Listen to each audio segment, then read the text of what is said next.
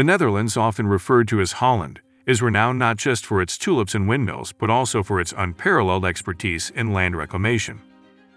Have you ever wondered how a country can expand its territory without waging wars or buying land?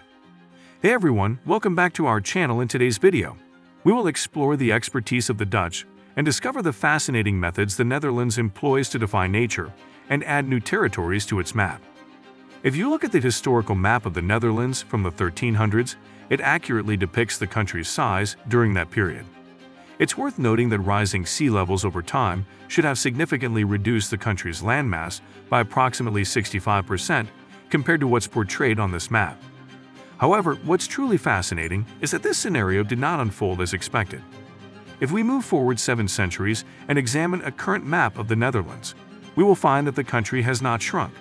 Instead, it has expanded by 17%. You will be surprised to know that this occurred without the Dutch taking possession of the land from neighboring countries like Belgium or Germany, the only two nations bordering the Netherlands. So what exactly happened? They innovated by forming new territories and protected the areas below sea level from vanishing into the sea.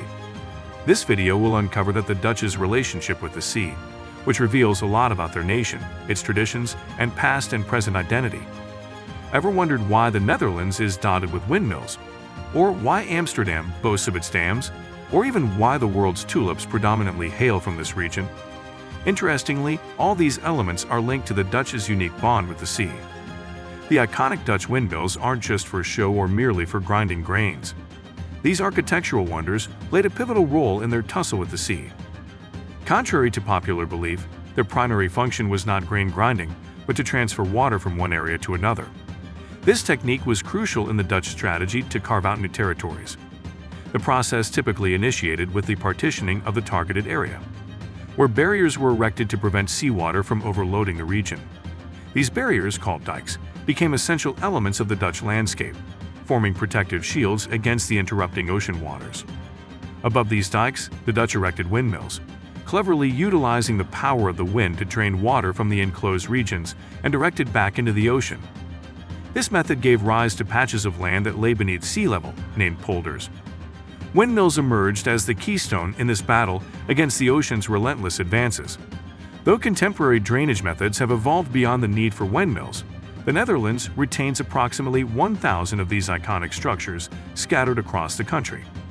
Let us turn our attention to the Netherlands' beauty of tulips. The reclaimed land was soil composed of sand, salt, and clay, which might not be suitable for conventional farming. However, the Dutch discovered a unique advantage in this type of soil. Over time, with a blend of rain, sunshine, and clever gravitation, the seabed soil transforms into highly fertile ground, ideal for cultivating a particular crop, flowers, most notably tulips. These vibrant blossoms symbolize Dutch culture, marking a colorful chapter in their history and ongoing agricultural success. Flowers, in particular, have become a thriving industry in the country, Notably, the Netherlands accounts for a staggering 80% of the world's tulip supply, underscoring its dominance in the floral market. Indeed, no other place on Earth rivals the Netherlands for cultivating tulips. But wait, yet upon closer inspection of these fields, a striking observation emerges. Most of them are covered not in flowers but grass. Grass. The decision to prioritize grass cultivation over flowers on these lands may seem unreasonable. However, the vast quantity of available land poses a unique challenge. With the Netherlands already accounting for most of the global tulip production, growing more flowers on these reclaimed polders would result in an oversupply. Given the soil's unique composition, traditional crops weren't a viable option. Remember, few plants thrive in such conditions, leaving grass as the primary choice. However, humans don't consume grass, making it less appealing. So what is the solution we would say cheese? Wait here as we unveil the secret. Dutch introduced cows to these areas to capitalize on the growing of the grass, the Dutch introduced cows to these areas. These animals happily grazed on the grass, converting it into valuable milk. Yet milk poses its own challenges, as it has a limited shelf life and is not particularly productive when sold as is. Cheese.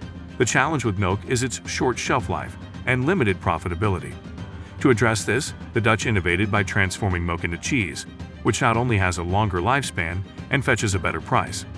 Enter Gouda, a delightful Dutch cheese celebrated globally for its rich sweetness and creamy texture.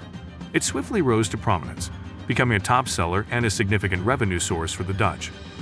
Thanks to their ambitious land reclamation efforts over the decades, the Netherlands stumbled upon their two most profitable exports, dairy and flowers.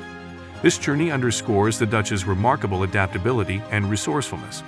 Dikes. Another innovative approach was the construction of the dikes.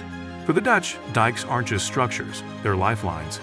Given that a staggering 65% of their land is below sea level, these dikes play a crucial role in preventing it from being submerged. The process commences with a core of sand, which is subsequently enveloped by a substantial layer of clay to ensure waterproofing and resist erosion effectively. Furthermore, beneath the waterline, an additional layer of crushed rock is added to mitigate the impact of wave action. Interestingly, the grass atop these dikes is intended to by humans but by sheep. These animals ensure the grass remains thick, and crucially, they compact the soil as they roam. It might seem like an odd strategy to many, but then again, it's the Dutch we're talking about. While some might find it amusing, one can't argue with their success. They've been holding back the sea for centuries, and here I am, still apprehensive about a simple beach swim. They're onto something. The expertise of the Dutch is undeniable, especially when looking at the closure of the dikes from 90 years ago. This dike, stretching 32 kilometers, converted a vast portion of the North Sea inlet into a freshwater lake. But how did it become freshwater when it was originally part of the ocean? Usually, it would remain salty.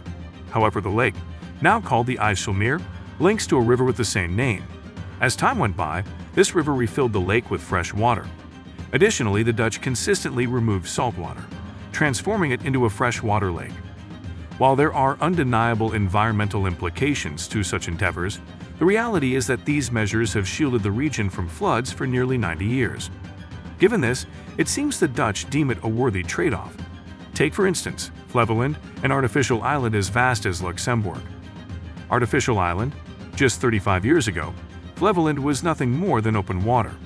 Today it boasts a thriving community with over 400,000 residents, the land which didn't even exist three and a half decades ago. It's a surreal thought to reside on terrain that shouldn't be there by nature's design.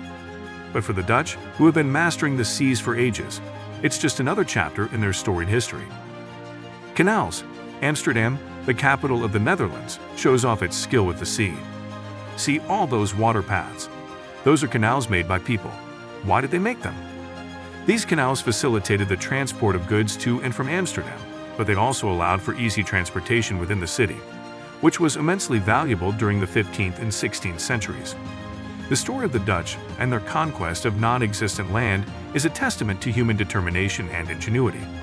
As we wrap up this captivating tale, tell us which innovations surprised you the most in the comment section below.